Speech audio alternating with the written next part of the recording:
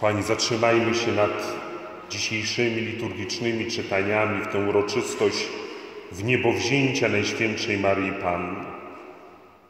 Mówimy, że to jest największe święto Maryjne.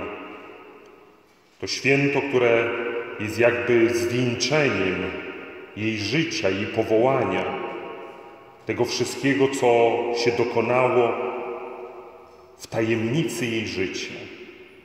I byśmy mogli dzisiaj pokusić się o pewną duchową biografię Maryi, bo przecież nie sposób napisać tę biografię, jak się pisze, wspomnienia o tych, którzy odeszli, z datami, z wydarzeniami. Ale możemy nakreślić duchową biografię Maryi, używając tych biblijnych określeń.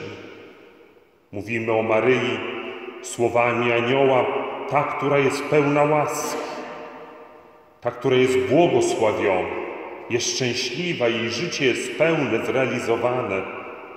Znalazła łaskę u Boga. Maryja to matka naszego Pana. Maryja jest błogosławiona, bo uwierzyła Słowu Boga. Służebnica Pańska, jak mówi sama o sobie, pokorna służebnica Pańska, Arka Nowego Przymierza. Czy możemy użyć tych czterech dogmatów maryjnych, które mówią o niej, że jest Matką Boga, jest dziewicą, jest niepokalana, jest w niebo wzięta. Duchowa biografia Maryi to nie tylko spis tych tytułów czy określeń, które używa Biblia. Byśmy mogli wziąć na przykład litanię loretańską i każde wezwanie mówi coś o Maryi czy przepiękne teksty godzinek o niepokalanym poczęciu, które wyśpiewaliśmy przed tą mszą świętą. One używają tych biblijnych wielu określeń, by tworzyć właśnie duchową biografię Maryi. I dzisiaj pełni podziwu wobec tej, która uwierzyła, która była posłuszna, która stała się służebnicą, która towarzyszyła swojemu synowi, stała się pierwszym, pierwszą jego uczennicą, ta, która wraz z Kościołem przyjęła Ducha Świętego. Dzisiaj nie tylko wysławiamy Boga za dar Maryi, ale chcemy ją zapraszać do naszego życia, by była nam matką.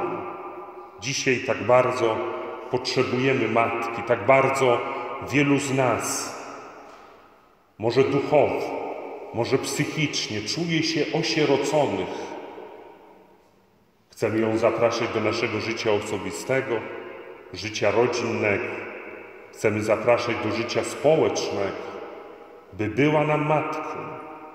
Ale także ta uroczystość jest jakimś wielkim wezwaniem dla nas, byśmy żyli w stylu Maryi. Pokora, służba, miłosierdzie, posłuszeństwo Słowu Boga, przyjmowanie tego Słowa i realizacja w naszym życiu, to jest ta szkoła Maryi, ten styl Maryi, który chcemy w tym miejscu i w tym czasie odczytywać do naszego życia, odczytywać wobec wyzwań, które przynosi codzienność naszego życia osobistego, społecznego, politycznego, gospodarczego. W pierwszym czytaniu z Księgi Apokalipsy świętego Jana widzimy scenę bardzo dramatyczną, scenę walki, wielkiego zmagania. Jest niewiasta obleczona w słońce i księżyc pod jej stopami, a nad jej głową wieniec gwiazd dwunastu. Jest smog ognisty który zmiata ogonem część z tych gwiazd i rzuca je na ziemię. Jest jakaś walka, zmaganie, walka dobra i zła, konfrontacja, jest agresja i przemoc, ale jest i ta niewiasta, która wobec tych zagrożeń rodzi syna, rodzi Jezusa. Zobaczmy, jak ten tekst Apokalipsy, który dzisiaj odnosimy nie tyle do Maryi, bo przecież ona w tym tekście bardziej ją możemy określić jako Arkę Przymierza, która pojawia się na początku tego fragmentu Księgi Apokalipsy. Ale ta niewiasta to my, to Kościół, który dzisiaj staje może jeszcze bardziej niż w poprzednich pokoleniach i latach wobec tego duchowego zmagania, do tej, wobec tej codziennej walki. Czasami właśnie mamy wrażenie, że doświadczamy tego spotkania ze smokami ognistymi, które nas przerażają. Może nawet mamy wrażenie, że nas już pochwycili w sposobie myślenia, wartościowania, że często jakbyśmy byli już jedną nogą po tamtej stronie zła. Przychodzimy w tę uroczystość, by uczyć się od tej niewiasty niepokalanych sposobu na walkę duchową. Ta walka duchowa jest obecna w życiu każdego z nas. Ktokolwiek prowadzi życie modlitwy, życie duchowe, doświadcza duchowych zmagań. I często mamy taką pokusę, by używać tych samych środków, które używa świat, który używa smog ognisty, przerażający, agresywny. A Maryja uczy nas zupełnie innej strategii. Dzisiaj Kościół musi się uczyć zupełnie innej strategii. Wobec zła, wobec zagrożeń nie mamy pomstować, nie mamy się bać, ale mamy tak jak ta niewiasta z Apokalipsy rodzić Jezusa, nieść do świata Jezusa. Jak Maryja zaniosła Jezusa w scenie nawiedzenia, którą przed chwilą odczytaliśmy. Zaniosła Jezusa, który dzięki temu spotkaniu z Elżbietą, z Janem Chrzcicielem, cały dom został napełniony Duchem Świętym. To spotkanie przynosi błogosławione owoce radości i modlitwy i wychwalania Boga. Taka jest nasza misja jako chrześcijan we współczesnym świecie. Nie używamy innego oręża, jak tylko oręże, oręż Ewangelii. Mamy nieść i rodzić nieustannie w świecie Chrystusa. W naszych rodzinach mamy nieustannie rodzić Jezusa, nieść Jezusa naszym najbliższym, nieść Jezusa do świata. To jest ten, ta strategia człowieka wiary. To jest ta strategia w perspektywie zmartwychwstania, o którym przypomniał nam dzisiaj w pierwszym z fragmencie z pierwszego listu do Koryntian święty Paweł. Chrystus zmartwychwstał jako pierwszy spośród tych, którzy umarli. W zmartwychwstaniu Chrystusa zostaje pokonana wszelka zwierzchność, władza i moc. Jesteśmy zaproszeni, by w tym zmartwychwstaniu brać udział. To się już dokonało w sakramencie Chrztu Świętego każdego z nas. Ja mam zwyciężać, ale to zwycięstwo musi dokonać się najpierw w moim sercu. Mam zmartwychwstać, mam się stać nowym człowiekiem, mam się stać Chrystusowy na zawsze, ciągle umierając dla moich grzechów i słabości i ciągle rodząc się do nowego życia. Dobrze wiemy, że ta droga jest bardzo trudna, ta droga jest wymagająca, bo to jest inna strategia niż ta strategia świata. Ta konfrontacja ciągle jest aktualna, ona się nie skończy. Ciągle będziemy musieli nieść do świata Jezusa i ciągle ten świat na różne sposoby będzie nas atakował i będzie dla nas zagrożeniem. Ale w stylu Maryi nie boimy się.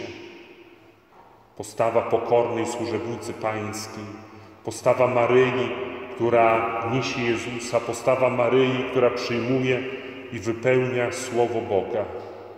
Jak się uczyć takiej postawy? Jak być naprawdę chrześcijaninem nie wojującym, nie pomstującym, ale wychowanym w szkole Maryi? Zaprasza nas dzisiaj do tego ta przepiękna modlitwa, którą święty Łukasz umieszcza w Ewangelii, którą wkłada w usta Maryi. Modlitwa Magnificat.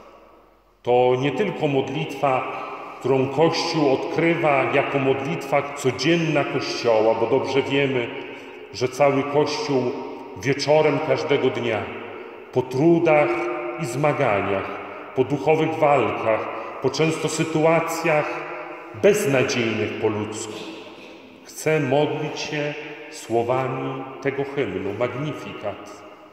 Ale to nie jest tylko modlitwa, ale to jest pewna szkoła formacji. Chcemy się uczyć patrzeć na otaczający nas świat i ludzi oczami Maryi, tą duchową jej wrażliwością. Patrzeć na otaczający nas świat i na to, co się dzieje w naszym życiu, właśnie oczami wiary. Tego uczy nas Maryi. Wielbi dusza moja Pana i raduje się duch mój w Bogu, Zbawcy moim, wejrzał bowiem na uniżenie swojej służebnicy. Oto bowiem odtąd błogosławić mnie będą wszystkie pokolenia, gdyż wielkie rzeczy uczynił mi wszechmocny. Święte jest Jego imię, a Jego miłosierdzie z pokolenia na pokolenie. Uczyć się patrzeć tak na moje życie, na to, co się dzieje, że Bóg zaprasza mnie do postawy pokory i uniżenia. Po co? Żeby dzieło zbawienia wypełniło się we mnie, żebym się nawrócił, bym stał się nowym człowiekiem, prawdziwym uczniem Jezusa.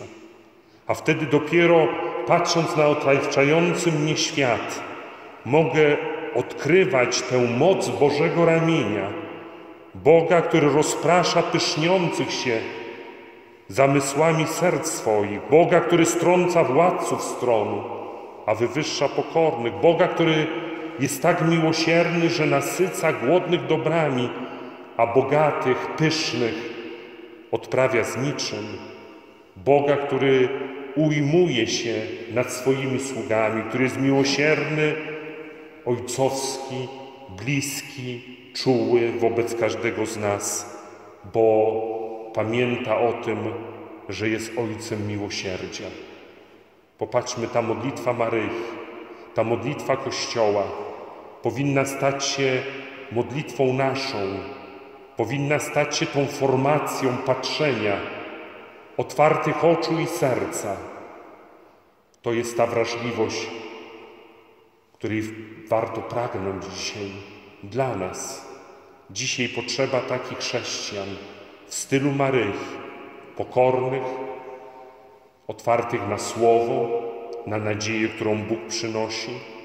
Chrześcijan, którzy rzeczywiście nie żyją w lęku, nie żyją tylko w jednej duchowej batalii, ale wiedzą, że ta walka ciągle trwa i wiedzą, że trzeba nieść do świata Jezusa, nieść do świata rzeczywiście dobroć, miłość, miłosierdzie. Trudna walka, ale dzisiaj przynieśliśmy do świątyni te zioła i kwiaty, owoce i warzywa, te wypracowane fizycznie na naszych działeczkach, ogródkach. W wielu miejscach są to dzisiaj dożynki, czyli dziękczynienie za plony ciężkiej rolniczej pracy. Ale to przede wszystkim dla nas te skromne wiązanki są wyrazem tych owoców, które przynosimy już w życiu duchowym. Ucieszmy się dzisiaj tymi zwycięstwami, które się dokonują w naszym życiu. Tymi zwycięstwami wtedy, gdy odkrywamy, że w moim życiu jest modlitwa, że sięgam po Słowo Boże, że odkrywam częstą Eucharystię, że odkrywam dar sakramentalnej spowiedzi i przyjmowania przebaczenia od Boga po to, by tym przebaczeniem dzielić się z drugim człowiekiem. Te skromne wiązanki wyrażają właśnie te duchowe owoce, które są już w naszym życiu. Patrzmy na to, cieszmy się, bo chrześcijanin to przede wszystkim jest ten, który odkrywa dobro, odkrywa działanie Boga w sobie i w otaczającym świecie. Może są to okruchy dobra, jak te skromne, niejednokrotnie wiązanki, ale to dobro jest w nas i pośród nas te lata duchowej formacji, które podejmujemy, przynoszą owoce dobroci, miłości, prawdy, wolności w naszym życiu. Niech ta dzisiejsza uroczystość tę nadzieję w nas pomnaża. Nie bójmy się świata, nie bójmy się innych ludzi, którzy może jak ten smok z apokalipsy na pierwszy rzut oka zagraża naszej wierze, wartościom, zagraża temu wszystkiemu, co szanujemy, kochamy i chcemy jakby uchronić od zła. Nie bójmy się i jak Maryja, nieśmy Jezusa do świata, tego świata, gdzie Bóg nas postawił, byśmy byli świadkami Jego miłości, dobroci, w stylu Maryi, w stylu tej pokornej służebnicy, która uwierzyła, która rzeczywiście zaufała całkowicie Bogu. Amen.